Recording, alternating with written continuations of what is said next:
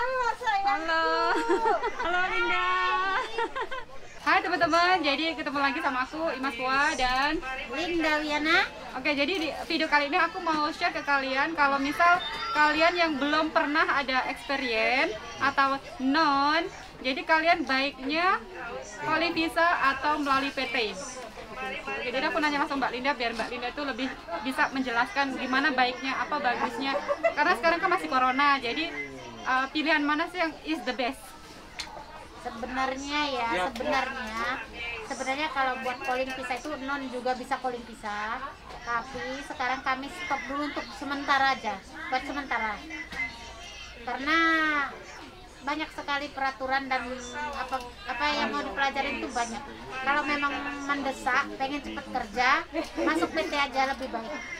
PT lebih baik kan ya? Ya, Heeh. masuk PT lebih baik buat yang non. Tadi kan udah dijelasin sama Mbak Linda bisa, tapi di sini Masih di stop.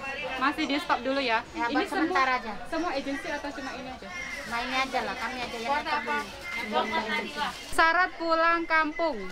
Oke, Mbak Linda, apa sih Mbak syaratnya untuk harus pulang ada kampung? PCR Oke, PCR. itu aja sebenarnya tiket sama PCR paspor sudah deh Sudah boleh pulang. kalau nggak ada tes swab dari Singapura sekarang nggak bisa masuk Nggak boleh masuk Indonesia. pesawat Oke, jadi kalau udah sampai di Indonesia gimana? tes lagi Tes lagi. Oke, sampai di Jakarta atau di karantina bandara. karantina paling lima hari Oke, kemudian balik eh katanya di di di tes, tes lagi. iya dites lagi di sana Jadi sebelum pulang ke kampung dites lagi. Ya. Jadi dua kali di Indonesia, Singapura sekali Jakarta sekali di Jakarta, Jakarta kan semua sekarang rata-rata ke Jakarta Oh, maksudnya di bandara satu, kemudian di karantin di Wisma Atlet. Nanti Ya. di Wisma Atlet sebelum pulang di di tes lagi. tes lagi Oh, Oke, oke, oke.